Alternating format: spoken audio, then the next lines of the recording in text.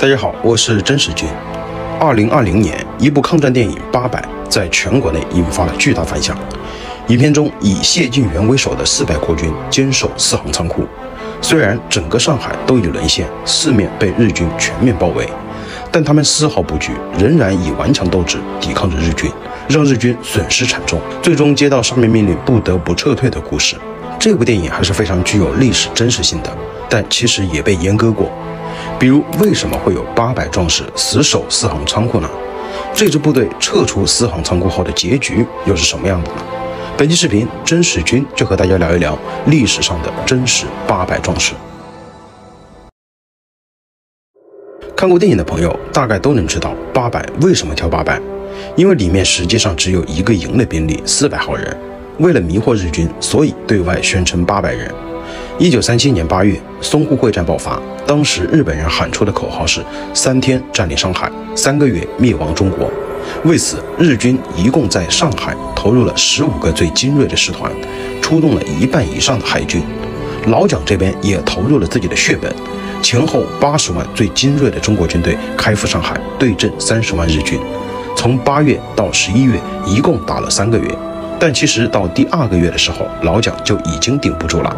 十月底便开始全军撤退，这个时候，第八十八师师长孙元良接到了蒋介石的命令，全师留下死守上海。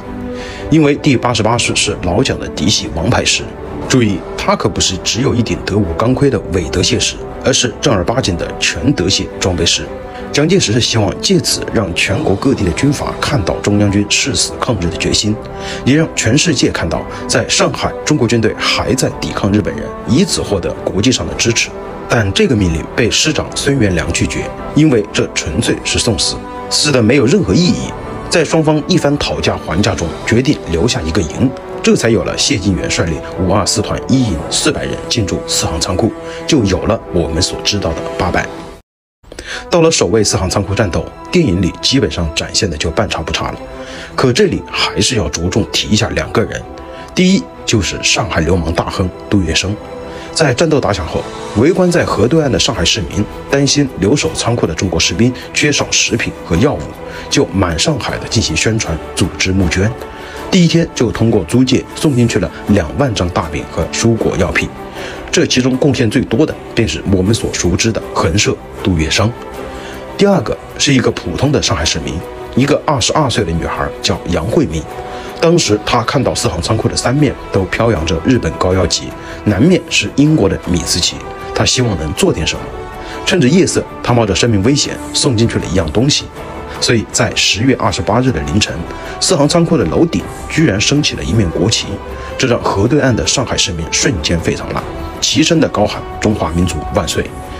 这两个人在电影中都有简单的描述，而之所以我要单说这两个人，便是因为在那个时候，他们分别代表的是社会两个不同阶级表现的最正面的例子。但四行仓库在进行到第四天便接到了撤退的命令，原因便是日军被激怒，使用各种火力和攻击手段，甚至用上了毒气弹。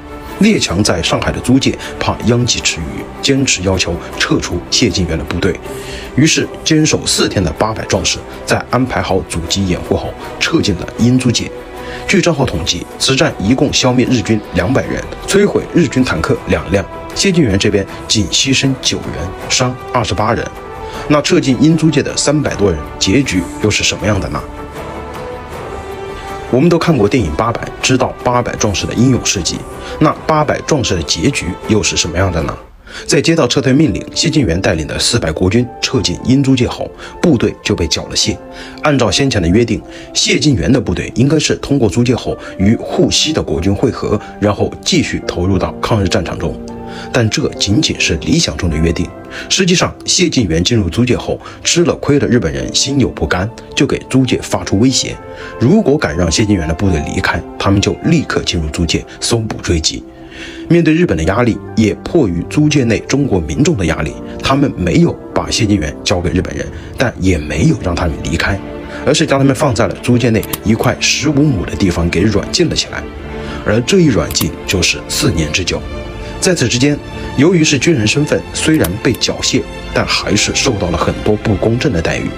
上海市民每天都会来到这片孤军的营地，女人就带点好吃的，男人就带几包香烟，告诉他们外面的新闻和战事进展情况。几乎每天都有几百人来看望，在他们眼里，这些人就是抗日救国的英雄。直到了1941年，太平洋战争爆发，日本正式对欧美列强宣战，于是上海的各租界便被日军强行接管，租界里的谢晋元孤军被全部拘禁，然后发配到各地做劳工苦役，更有一个排的战士被发配到了遥远的新几内亚，大多都遭到了日军的虐待惨死，也有的病死累死。而团长谢晋元在一九四一年四月软禁期间，汪精卫伪政府收买了四个谢晋元的士兵，在二十四日凌晨出早操的时候被刺杀，重伤后不久便牺牲了，年仅三十七岁。这个曾经振奋国人、威震敌胆的谢晋元和八百壮士，最终只落得这样一个结局。新中国成立后，原八百壮士的四百人，活着的只有六七十个。谢晋元的遗孀不忍烈士下场如此，写信给上海市市长陈毅，陈毅非常重视，妥善安排好了烈士和烈士遗孀。到了文革结束，谢晋元的墓才被移进上海万国公墓。这就是八百壮士的结局。我知道每个人都喜欢看热血沸腾、英勇无畏的抗日场面，但历史的真相总是这样冷酷无情。正如电影里的结局一样，我们总幻想着英雄们能有一个圆满的终场。至少有一个悲壮的结局，但最后依然让我们无言以对。虽然历史冷酷无情，可我们该记住的还是会被记住。正是历史，才能让我们更加的通透自知。好了，我是真实君，只讲真实的历史。如果你看完有所得，不妨点赞关注，交个朋友。我们下期再见。